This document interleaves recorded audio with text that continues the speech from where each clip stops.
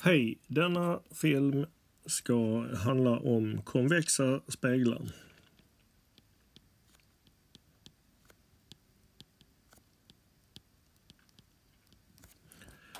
Konvexa speglar är de som ser ut på detta viset. Vi står här och tittar åt det hållet och då är det de speglar som växer, konvexer mot oss.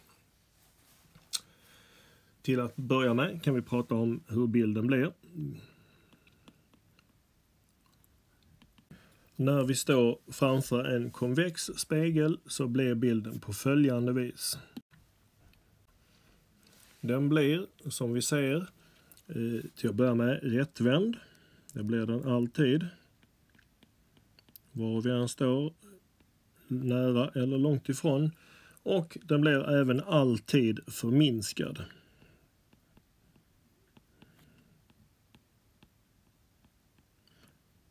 Eh, nästa sak vi kan prata om det är vad de här används till. Och det är till exempel backspeglar använder man konvexa speglar.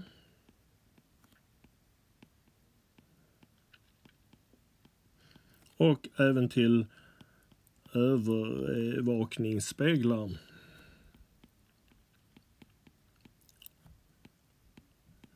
Det är sådana speglar som ni ser i taket i affärer ibland. Det är stora eh, metalliska halvklot. De är ju till för att avslöja snattar. Och både de och backspeglar så är man ju ute efter att fånga upp så mycket som möjligt av omgivningen i bilden i spegeln. Om ni tittar på bilden till höger, fotografiet till höger, så ser ni ju här att det är mycket uppfångat av det där rummet där tändsticksasken är tagen.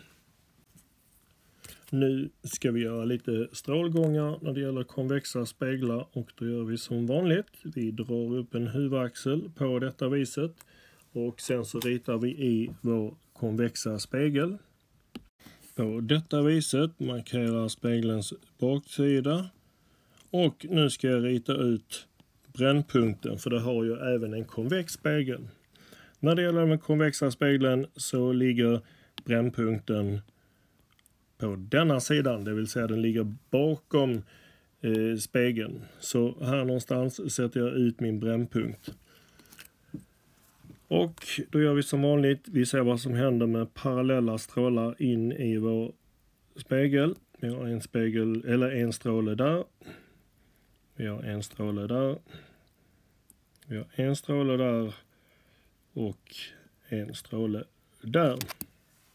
Dessa strålar kommer in i spegeln och nu är vi intresserade av var de tar vägen när de lämnar spegeln.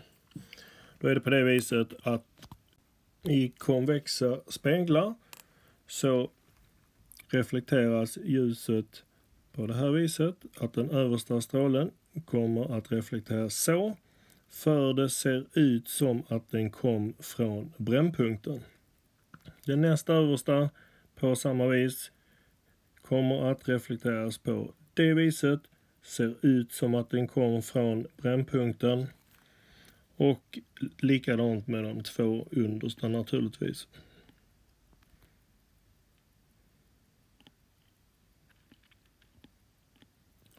Så kommer strålarna att reflekteras i en konvex spegel. Tack för detta.